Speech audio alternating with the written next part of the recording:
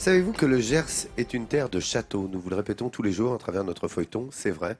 Et on vous fait visiter ces châteaux avec la vie de château, j'ai envie de dire, celle de Nathalie, tous les Ah, jours. la mienne, surtout euh, celle Ouais, de ceux qui, de ceux euh, qui habitent. achètent ou héritent de châteaux. On va aller à Flamarins et son château que Jacques et Marie-Hélène ont racheté en 83. Enfin, dont ils ont racheté les ruines, car il a fallu à Jacques, à Marie-Hélène et à leur fils Arthur 20 ans de travaux pour retaper le château. Il faut dire qu'ils n'y habitent pas à plein temps, donc tout leur temps libre est consacré à ça. Euh, Comme ils n'ont pas les moyens de le réhabiliter à grands frais, ils utilisent l'ingéniosité, le système D, ça c'est pour les garçons, le côté artistique pour Marie-Hélène, car vous l'avez compris, Flamarins, c'est avant tout une histoire de famille. Construit au XIIIe siècle, le château de Flamarins est un bijou de l'architecture gasconne. Pourtant, il a bien failli disparaître du paysage. Abandonné vers la fin du 19e, puis dévasté par un incendie en 1943, cet admirable monument a été sauvé par un couple de Parisiens qui en a fait sa résidence secondaire. Arthur et Marie-Hélène n'ont pas vraiment une vie de châtelain. Ils consacrent la plupart de leur week-end à entretenir la bâtisse. Et pour redonner ses lettres de noblesse à ce lieu prestigieux, ils organisent des concerts qui, à chaque fois, font salle comble.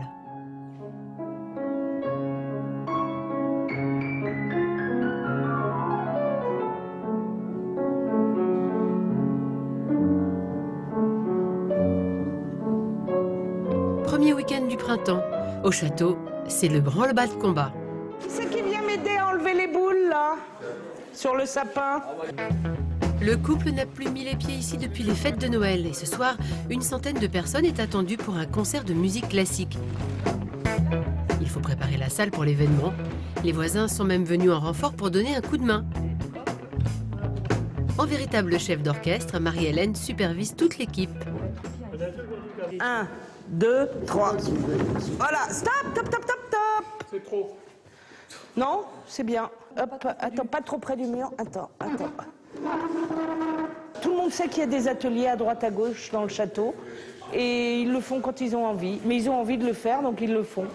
Et c'est ça qui est, top. Quoi. Moi, j'adore. Ça me, met des frissons quand je vois que tout ça, ça fonctionne, que les gens sont actifs. euh, ça me rend heureuse, en fait, de faire vivre ce château et de faire participer euh, les gens du village, les amis, à vivre des moments exceptionnels dans un lieu exceptionnel.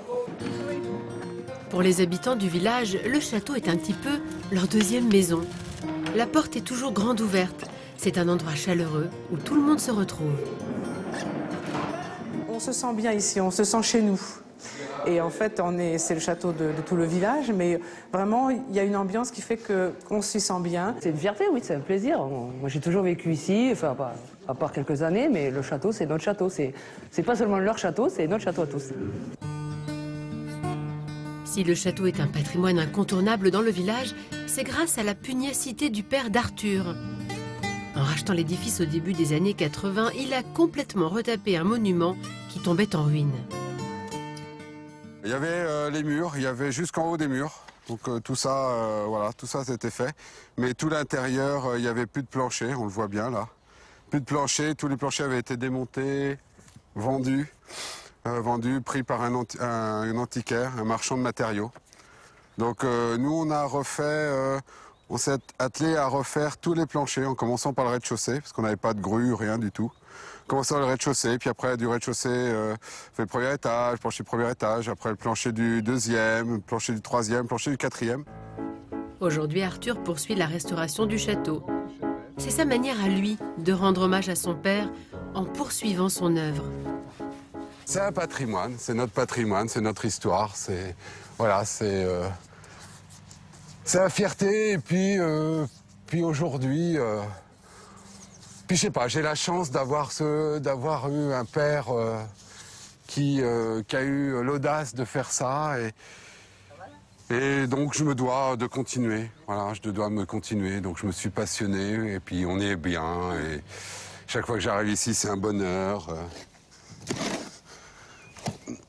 Son bonheur, Arthur le trouve dans les travaux. Au château, il fait tout lui-même. Rien ne l'effraie. Arthur est le roi du système D. Avec ce mélange à base de chaux et de sable jaune, il va redonner vie aux pierres de la bâtisse. Une solution ingénieuse et économique. Je fabrique de la pierre avec du calcaire. euh. Bon, la pierre c'est du calcaire, donc euh, là, je fais pareil. C'est une passion. euh, je suis né avec. Comme tout enfant, on veut imiter son père. Et je voulais euh, prenez ses outils et je voulais jamais lui rendre. Alors il fallait, il avait appelé les outils prêts à papa. Donc c'était devenu des prêts à papa. Après les travaux, la journée d'Arthur est loin d'être terminée. Ce soir, il a troqué le bleu de travail contre la tenue de soirée. Bonsoir, messieurs, bienvenue au château de Flamarins. Ce soir, le château reçoit Alexandre Dupouille, un jeune pianiste. Pendant qu'Arthur s'occupe de la billetterie, en coulisses, le musicien peaufine les derniers détails. Il est impatient de jouer dans ce lieu chargé d'histoire. C'est vraiment euh, un plaisir de venir, euh, de pouvoir euh, participer à la vie, vraiment à la vie du château, de, le faire vivre en amenant du monde, de- et surtout de, pouvoir faire vivre la musique au sein de, lieux qui, déjà depuis des, des siècles, il y a toujours eu de la musique, hein, donc euh, c'est bien de le perpétuer.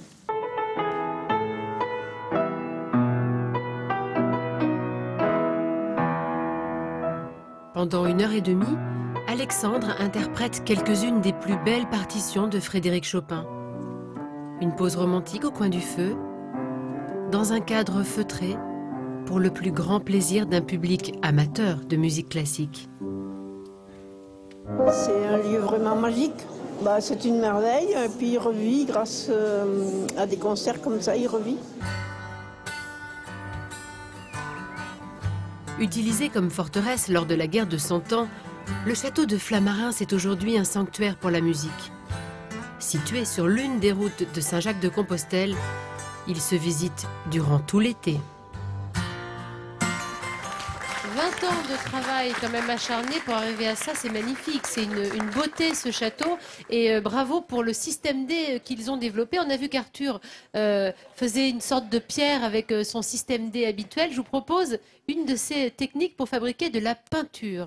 Peinture système D que vous pouvez euh, refaire chez vous. Refaire la C'est pas la peine d'avoir un château et vous verrez que c'est bien plus économique. Simple Alors, et pas cher. qu'est-ce qu'on prend? Viens, Jean-Seb, il a envie de jouer. Philippe. Allez, hop Matériel. matériel. Alors, je vous montre les, les ingrédients. Huile de lin, farine de blé. Tu montres, s'il te plaît. Non, huile de lin. Attends, attends, attends, avant de montrer. Huile de lin, farine de blé. Voilà, savon de Marseille, terre colorante, sulfate de fer et de l'eau. On lance le off quand même parce que je suis pas sûre que Jean-Seb fasse à peu près euh, ce qu'il faut. Ouais. Euh, c'est très simple. Alors il faut, vas-y Jean-Seb, diluer de la farine dans un peu d'eau. Voilà, Alors, voilà. On peut mettre Jean-Seb en double fenêtre pour qu'on voit s'il fait bien, si c'est possible. Voilà, euh, oui, très bien Jean-Seb. Ensuite, Bravo. tu mélanges tout. Voilà. Alors il faut cuire. Alors, malheureusement, tu pourras pas cuire. Euh, mélanger, voilà. Bah oui, non mais regarde. Si on met des Alors, handicaps aussi. Là, euh, ça va un petit peu vite. Évidemment, ça prend un petit peu plus de temps. Ce que je vous propose, parce que Jean-Seb, bah, je te mets la, la- la recette ici. Et si vous n'avez pas la recette sous les yeux comme, comme Jean-Sébastien, qui fait sa petite tambouille, vous allez sur le site de France 3, on vous met tout. Pourquoi c'est si intéressant? Parce que avec cette technique, pour peindre 15 mètres carrés euh, de mur ou de porte, il vous en coûte 8 euros.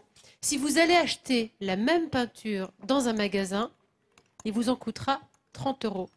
Économie. Économie. Et je peux vous dire que quand on a un immense château à peindre, on est content oui. d'économiser entre 8 et 30 euros. Donc pendant que tu t'y arrives, tu t'en Cela dit, sors. une petite pièce Voilà. à la maison, tu vois, c'est pareil. hein, tu fais faire ta peinture. mayonnaise. là. Absolument. Euh, on a vu cette technique pour faire de la pierre. C'était absolument vu les euh, portes, magnifique. tout. Elle fait tout Et avec. là, et là euh, ça, ça, ça, ça me rappelle ce qu'on peut trouver aussi en Roussillon, les ocres de Roussillon. Et donc, c'est assez facile de trouver couleur. tous ces pigments. Oui, Hélène. Il faut juste pas oublier l'huile de coude en plus. Oui. Pourquoi Pour les huisseries Ah bah ça lui fait du bien. Elle aime bien préparer ça. C'est ça, les vieux Ça ressemble monuments. un petit peu. On ça dirait, tu sais quoi hein On dirait Vincent qui nous prépare une vinaigrette. Presque. Regarde. Mais là, Bah, c'est. je vous conseille pas de la manger, les on est amis. au hein. bord du gloubi-boulga. Ouais, c'est ça. Non Bon, écoute, c'est un bon conseil. Tout sur France3.fr, évidemment, sur la technique, pour euh, que vous puissiez vous aussi à la maison réaliser euh, et repeindre votre maison à peu de frais.